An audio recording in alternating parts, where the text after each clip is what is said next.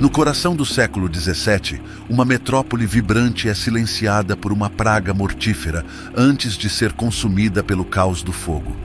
A escuridão desce sobre Londres, não pela chegada da noite, mas por uma nuvem densa de desespero e destruição. Enquanto as chamas devoram o que a doença poupou, mistérios e segredos antigos são revelados, trazendo à luz verdades que o tempo tentou ocultar. Olá, viajantes da história! Prontos para explorar as sombras e as chamas que moldaram um dos anos mais sombrios de Londres. Hoje, mergulhamos em 1666, um ano marcado pela praga devastadora seguida por um incêndio catastrófico. Antes de nos aventurarmos por este passado ardente, deixem aquele super like e preparem-se, pois vamos descobrir como Londres enfrentou o terror e o fogo. O passado está prestes a reacender suas chamas.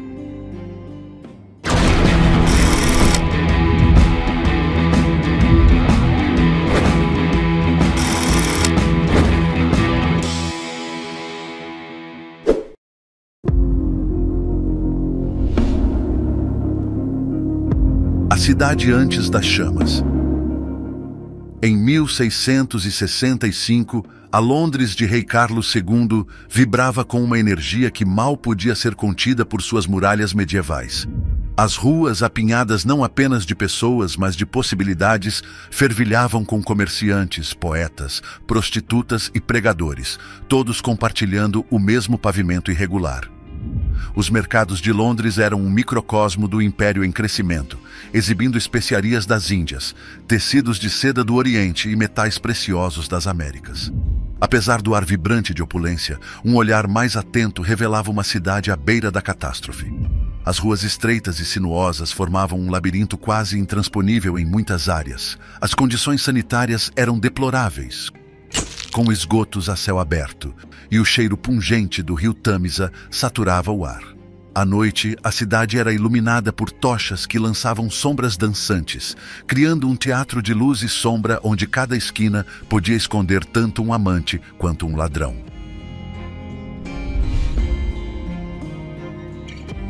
O surgimento da peste. 1665 também foi o ano em que a Grande Praga de Londres bateu novamente à porta. O flagelo da peste bubônica, que décadas antes devastara a Europa, retornava com uma fúria renovada. Os médicos da época, vestidos com suas máscaras de bico recheadas de ervas aromáticas para afastar o ar corrupto, eram figuras tanto de terror quanto de esperança. O diário de Samuel Pepys, que documentou vividamente sua experiência durante esse período, oferece uma janela para a vida diária e os medos da população. Ele descreve como as casas dos infectados eram marcadas com um X de tinta vermelha e como as ruas se tornavam cada vez mais silenciosas, à exceção dos carrinhos que transportavam os mortos.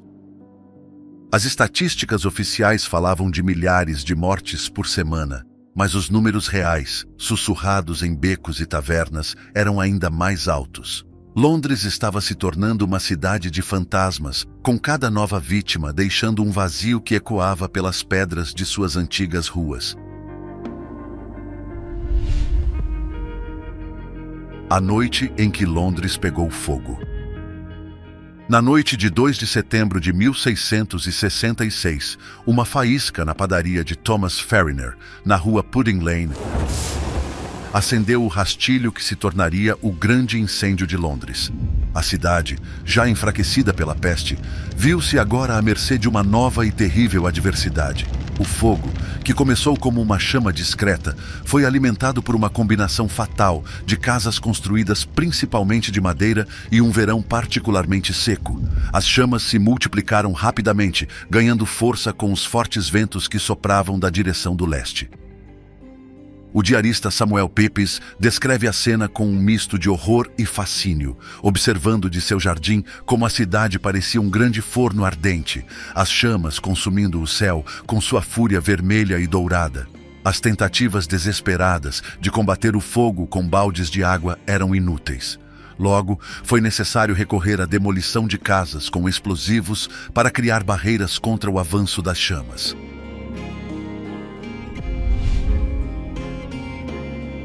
Os heróis e vilões da tragédia.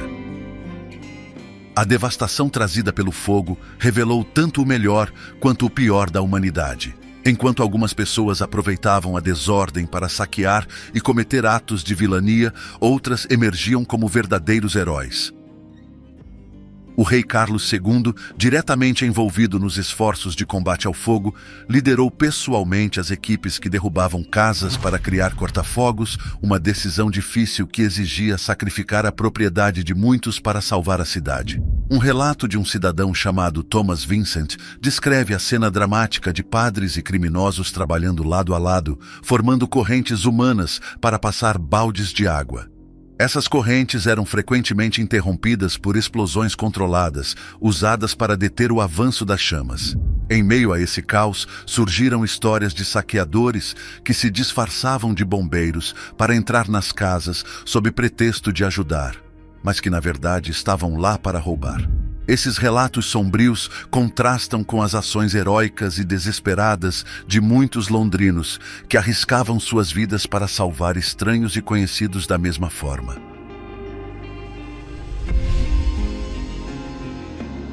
A luta pela sobrevivência.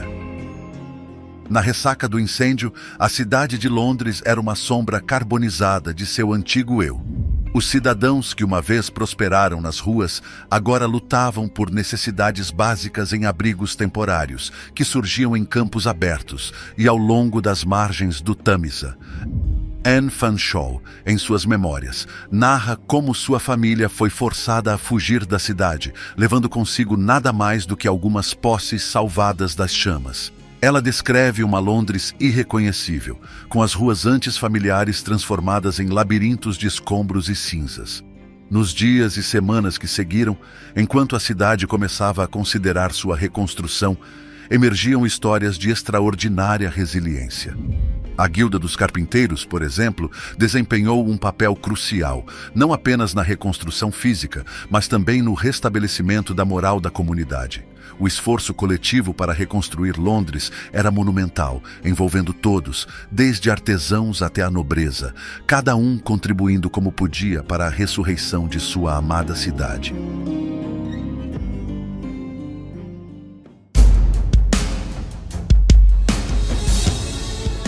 Agora, chegamos ao fim de nossa ardente viagem ao passado.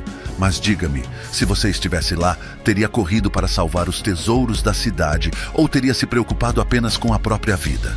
Sua resposta é crucial. Comente abaixo e faça parte desta história. Não esqueçam de deixar seu like e compartilhar o vídeo se acharam a jornada fascinante. Até a próxima e nos vemos em breve. Fiquem em paz. Fiquem com Deus.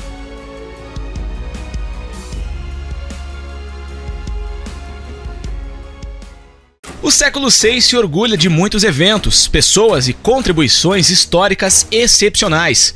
A exceção foi um ano que registrou um alto nível de tragédia e conflito que a maioria dos historiadores dizem ter superado qualquer outro momento da história. Olá, viajantes da história! Hoje vamos conhecer os eventos devastadores que ocorreram no ano de 536. Tá curioso para saber mais sobre o que aconteceu? Então já deixa o seu super like e sem mais demora, vamos ao vídeo! A névoa que durou meses. O historiador bizantino Procópio serviu como conselheiro militar de Belisário, um dos generais mais ilustres do Império Bizantino. Procópio acompanhou Belisário em suas campanhas na Pérsia durante a década de 520 e novamente na Sicília em 536. Ele escreveu sobre um evento que ocorreu naquele ano. O Sol emitiu uma luz sem brilho, como a Lua, durante todo esse ano, e parecia excessivamente como o Sol em eclipse, pois os raios que ele irradiava não eram claros. E desde o momento em que isso aconteceu, os homens não estavam livres da guerra, nem da peste, nem de qualquer outra coisa que levasse à morte. Procópio não foi a única fonte a mencionar a escuridão de 536. Miguel, o sírio, um escriba bizantino, também escreveu sobre isso. O Sol foi eclipsado por 18 meses. Durante três horas pela manhã surgia a luz, mas a luz que não parecia nem dia nem noite. Outras fontes de todo o Mediterrâneo mencionam uma nuvem ou véu de poeira que escureceu a Terra por um longo período. Quando os especialistas olharam para a época, descobriram evidências de uma erupção vulcânica gigantesca. Ela possivelmente depositou cinzas em todo o globo. O nevoeiro revelou-se desastroso para a população da Europa. Com a escuridão veio a fome generalizada. O efeito da escuridão prolongada na agricultura em 536 e nos anos seguintes provou ser devastador. Sem o sol, as safras não cresciam, a temperatura da Terra caiu entre 1,6 e 2,5 graus Celsius, e civilizações em todo o mundo lutaram para produzir alimentos suficientes para sobreviver. A escassez das colheitas se estendeu por todo o mundo logo após a erupção vulcânica em 536. O evento provocou temperaturas mais amenas que duraram décadas. Uma praga varreu o Império Bizantino. A persistente nuvem de poeira não foi o único problema que fez de 536 um ano tão ruim. Miguel, o Sírio, escreveu sobre a ruína que percorreu o Império Bizantino. Seguiu-se uma praga sem precedentes que começou em Constantinopla, onde no primeiro dia 5 mil pessoas morreram. No dia seguinte, 10 mil pessoas, e desse modo foi aumentando descontroladamente. Eles contaram até 300 mil pessoas e então pararam de contar ninguém ficou imune, pois ela atacou desde a classe pobre até os mais nobres. Os sintomas começaram com uma ferida e progrediu até que o afetado não pudesse dar um passo.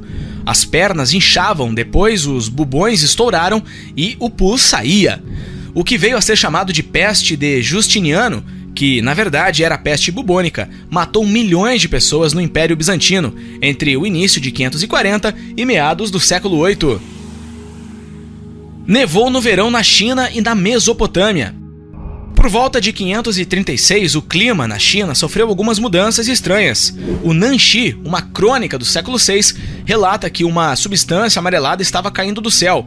A composição exata do material permanece obscura, mas relatos o descrevem como sujeira ou poeira.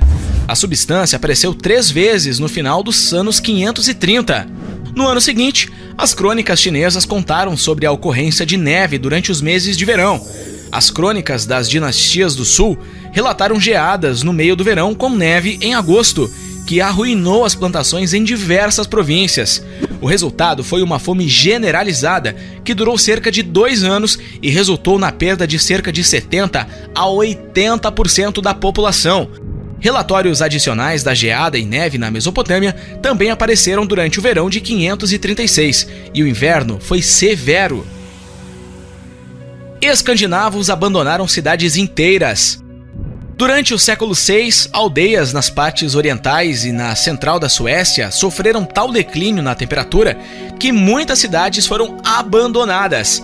A razão disso permanece um tanto obscura, mas o véu de poeira de 536 e a escassez alimentar subsequente certamente influenciaram nas ações dos escandinavos. Uma lenda nórdica chamada Fimbulwinter fala de um inverno de três anos que ocorreu antes do Ragnarok. É possível que a história do inverno prolongado tenha sido associado à escuridão prolongada presente nesse período. Cronistas irlandeses descrevem escassez de pão.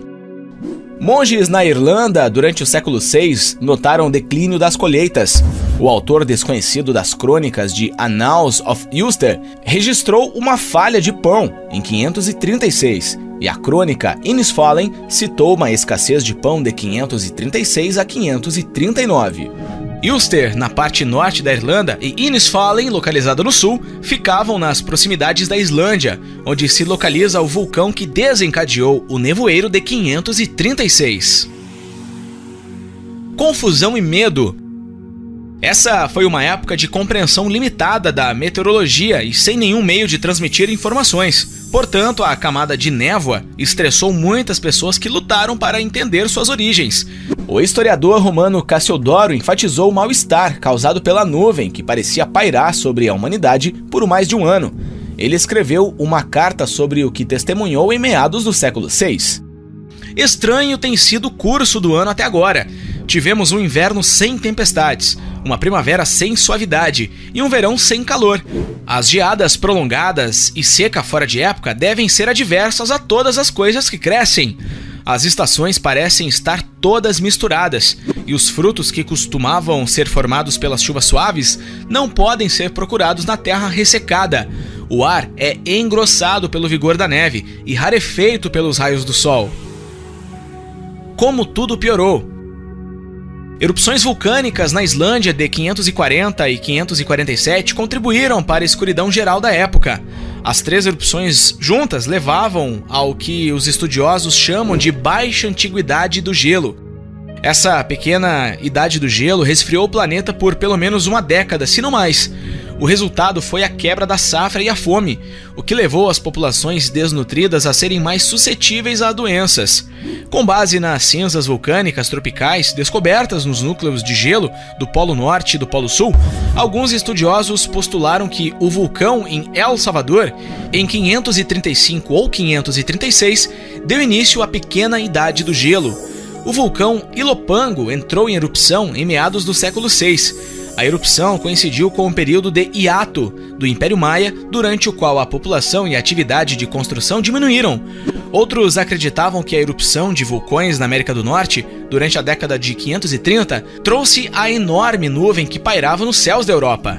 Mesmo que a erupção do Ilopango, um vulcão norte-americano ou qualquer outro evento vulcânico não fosse singularmente grande o suficiente para cobrir o hemisfério ocidental com cinzas, os eventos contribuíram para a escuridão geral de meados do século VI.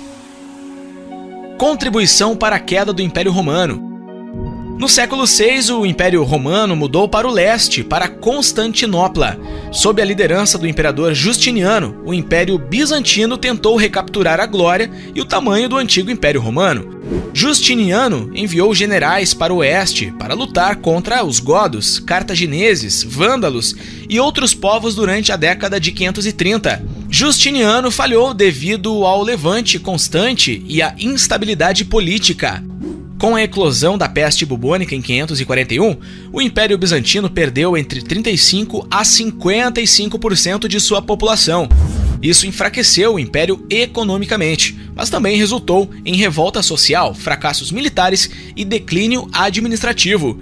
O Império Bizantino nunca se recuperou totalmente das perdas de safra, doenças e conflitos gerais desencadeados pelos eventos de 536. No oeste, o império havia se dividido em estados individuais, controlados por diferentes reis germânicos. Estes continuaram a lutar por pessoas e terras, aproveitando a falta de liderança centralizada e estabilidade econômica.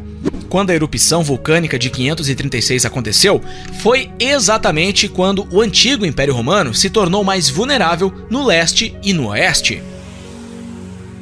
A civilização peruana que também sofreu em 536. A civilização Moche já dominou a costa oeste da América do Sul, contribuindo para o patrimônio cultural e econômico da região.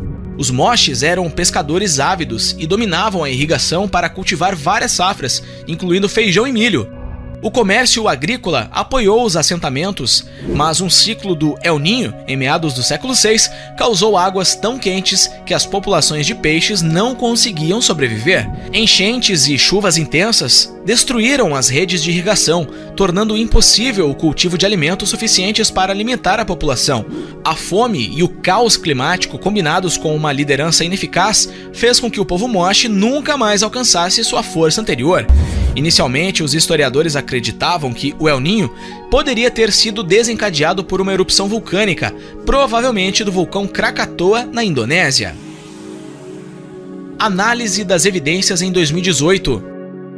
As horríveis condições descritas em 536 receberam nova atenção em 2018 o historiador de Harvard, Michael McCormick, estava no grupo interdisciplinar de acadêmicos que reuniu pesquisas para determinar se 536 foi realmente o pior ano de todos os tempos.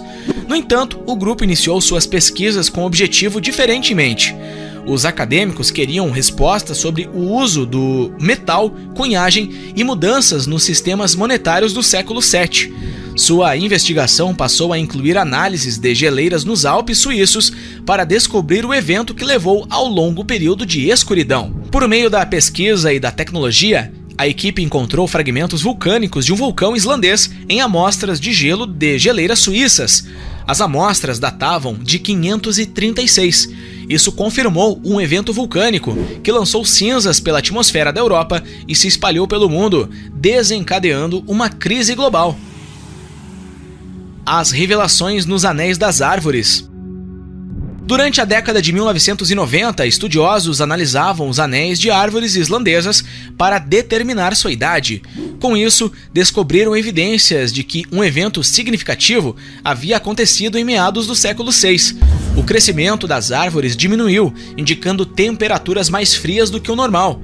Pesquisas adicionais mostraram que o crescimento das árvores diminuiu em todo o mundo, na América do Norte e na Europa, dados de anéis de árvores indicam que o mundo ficou consideravelmente mais frio por pelo menos 15 anos após a erupção de 536.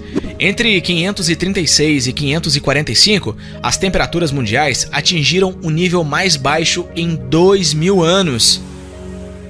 Tudo melhorou cerca de um século depois. Enquanto os estudiosos procuravam respostas sobre economia, cunhagem e uso de metal durante o século VII, eles encontraram dados que levaram a uma conclusão sombria. 536 não foi apenas o pior ano para se viver, ele foi apenas o início de uma época terrível. No entanto, os pesquisadores descobriram quando tudo começou a melhorar para a humanidade. De acordo com as amostras de gelo, o chumbo apareceu na atmosfera por volta de 640. Isso indica que as pessoas começaram a produzir prata como material para troca monetária. Para os especialistas, a introdução da prata significava que as pessoas desejavam mais cunhagem, sugerindo uma melhoria nas perspectivas econômicas. As coisas estavam melhorando um século depois em alguns lugares, embora algumas regiões não experimentassem a introdução da prata em suas economias até a década de 660.